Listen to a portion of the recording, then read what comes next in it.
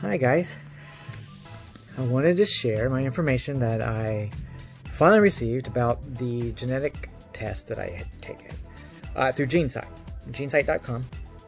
Um, I will have the address listed above.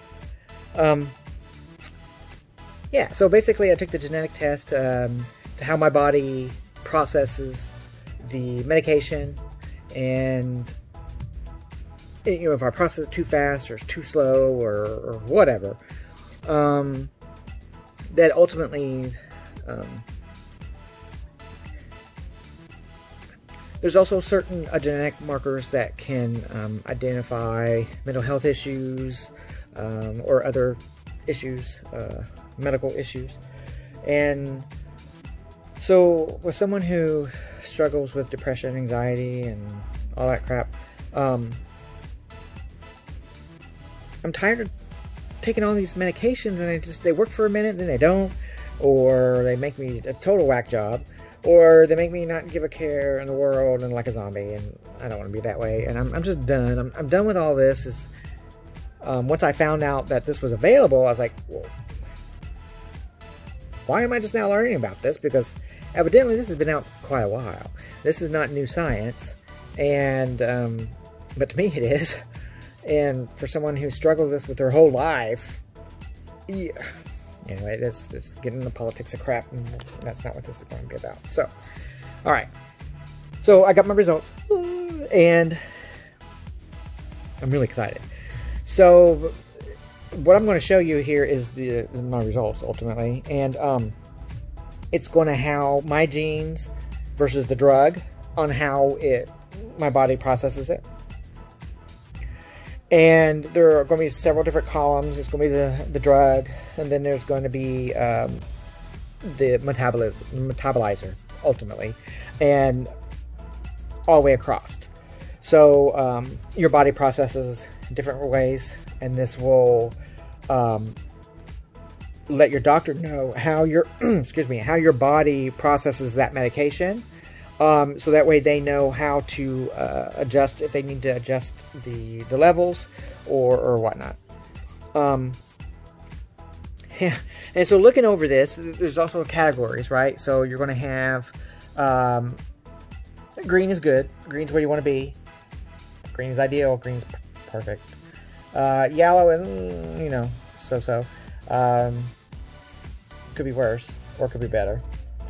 And then red is stay away from you, you, your body doesn't process it very well, and it's just ultimately it could be dangerous.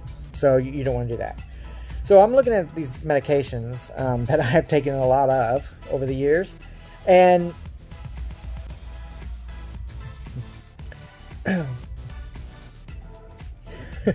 so green, where you want to be.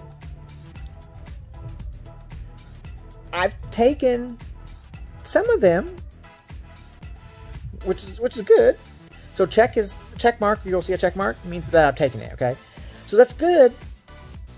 However, how my body processes that drug was not ideal. So you want to be in the very, you want to be the very first column, and that is called. I'm going to.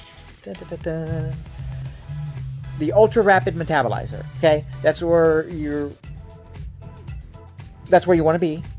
That's ideal. And not one of those drugs I've been on that were ideal for, the, for that. No, not, not one. yeah, wow. So then, sorry, let's check the people. Okay, so then um, in the yellow, I have quite a few check marks. Again, not one in that column. Um, yeah.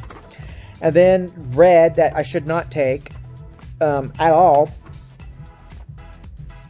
yeah. There's one there.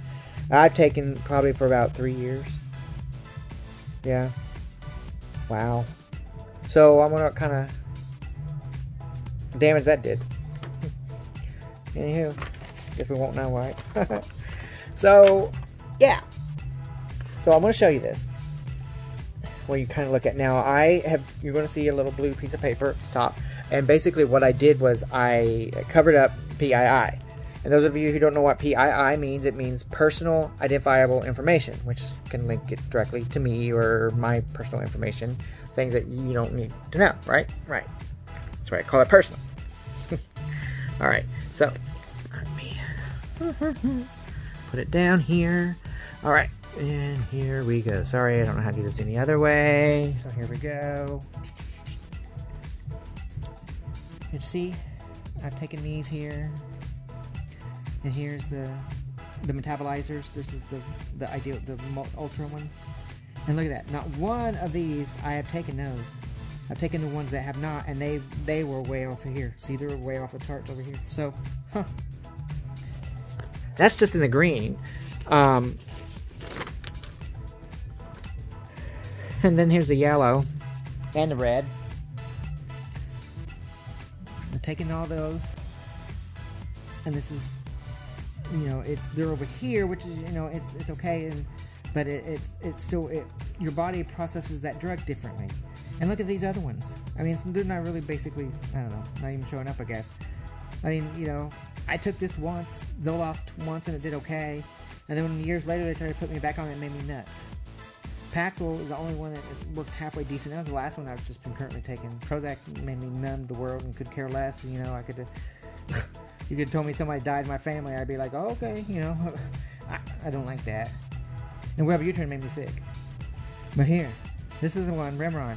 I've taken Remeron, I took it for about three years. And it's like, don't take it. Red, bad. Red means bad. Or bad means red, whatever. So, what's this information going to tell me and my doctors? Well, okay, so I did a little research, educate myself. I'm not perfect on this, and so if I mess something up, I'm sorry for those of you who know more than me about it. Um, but I am explaining this the best that I can, or know how to. But I, I do want to talk about it. So basically, um, it's your genotype and phenotype, right? Um, we're either heterogeneous or homogeneous. Zygous. Heterozygous, homozygous, sorry. And basically what that means is, so you're inherit from your parents. You inherit from your mom and you inherit from your dad on whatever line of that genetic marker code is, right? Blah, blah, blah, you know, um, basically what this is looking at is, and this is a big word, and here we go. Methylene tetrahydrofolate, abbreviation MTHFR. Um, and um, so you inherit a genetic marker from your father and then from your mother. So, a heterozygous, you would inherit, say, capital B from your dad, and then a lowercase b from your mother. That's heterozygous. Homozygous is you inherit a low, or uh, just a regular low b, non-capital B, from your father, and a non-capital B from your mother. So they're the same. That's homozygous. Homozygous is considered not normal. So, my breakdown of this basically was they identified me as either het heterozygous or homozygous, and then to what of the genetic marker that was marked.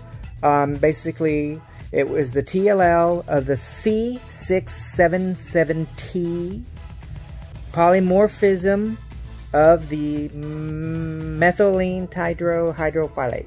Tetra, yeah, tetrahydrofolate. Okay. surprise, surprise. Mine comes back as homozygous, not normal for that marker. That's just for that one marker, okay? And so, therefore, what does that one genetic marker, what does that affect? What, how, what impact does that have on me? Hmm, yeah, let's, let's, let's look at this. So, after further research, I have found the homozygous methylene tetrahydrofolate C677T causes a variety of mental health conditions such as depression and anxiety. What about that?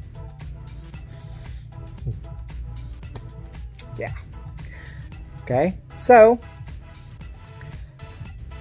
how abnormal is this? Well, depends on how you look at it. So, you know I had to know. okay, 30 to 40% of the American population have the genetic marker homozygous of the TLL of the C677T. In other words, the mental health. 30 to 40% of the American population, okay? Now let's break that down even further. Um, 25% of anyone of Hispanic descent may have that marker. 25%. So that's that's fairly low. 10 to 15% of Caucasian descent have this marker. I think that's me. Last time I checked, I was Caucasian. so, only 10 to 15% have that marker. So, you know, lucky me, I'm part of the 10 to 15% of Caucasians who have this marker that affect our mental health. Hmm. I guess you can say thanks, mom and dad, right? Not their fault. So, I.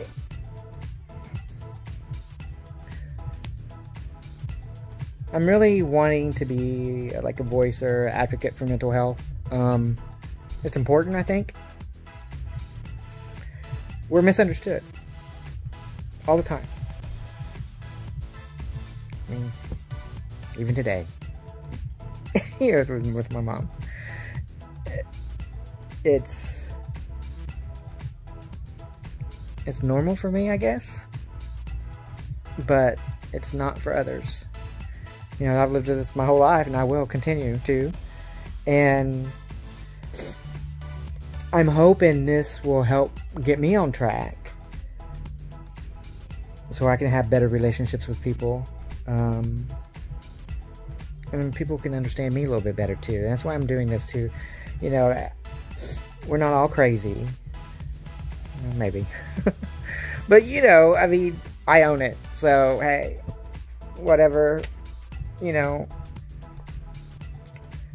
I own this. I always said that, you know, all the I get my craziness and our mental health issues come from our mom's side family. hey. but this proves actually no, it's inherited on both because you have to get them from both sides to have them to to have it. So it's on my dad's too. so interesting. They're not gonna be happy about that, but oh well, you'll get over it. so, anyways, so just remember maybe next time you run across somebody who might be mentally ill or having depression or anxiety or a little bit maybe they're sad a little bit longer than what you would be over something it's probably out of their control okay um, i know I, I, just i just know in my family um, you know there's a lot of confusion about some stuff. Um, and, you know, people don't understand things. Well, here's another, here's some more information. So, you know, keep your judgments to yourself. Have nothing nice to say, don't say it at all. Those things that we learned as kids, those still apply as an adult. So that's what I'm saying here too. You don't have nothing to say, nothing nice to say, then I don't want to hear it but I'm done. You know, I'm I'm doing I'm this is me. This is who I am. I'm owning it. And you know, and I'm going to be an example for others. And we we got to we got to stick together and we need to help people. There's people who who need this, and I'm hoping if I can help just one person, that's, going to be great. That they didn't have to go through some of the things that I had to go through. So anyway, I'm excited about this, um, and I'll keep everybody posted. Thank you so much for watching, especially if you watched this far. Cool. Thanks. Bye.